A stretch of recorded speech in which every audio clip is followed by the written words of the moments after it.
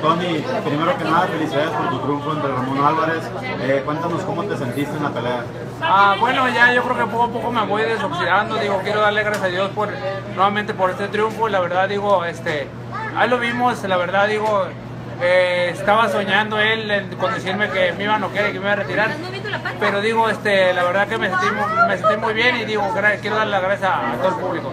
El inocente pide la revancha, ¿estás dispuesto a dársela? Ni que fuéramos chan cuando somos para, para hacer otra nueva exhibición. No digo, estoy puesto para lo que quiera, yo no le, doy la vuelta a nadie. Yo estoy puesto, yo con, la empresa que sea, estoy puesto para, para, el peleo que se va nuevamente. Después de tu retiro de cuatro años y medio, ya tienes dos triunfos en fin en este año. ¿Qué, quieres para ti? Fíjate, hay algo muy importante. Después de cuatro años de retiro, llevo dos triunfos con peleadores que están vigentes, con peleadores jóvenes. Digo, aquí saqué nuevamente la experiencia. Digo, la verdad que eso, eso cuenta mucho, ¿no? La verdad, yo estoy puesto para que me pongan. Voy a platicar con mi empresa de Tapran y a ver qué es lo que sigue. Perfecto, gracias y felicidades. Dale, muchas gracias.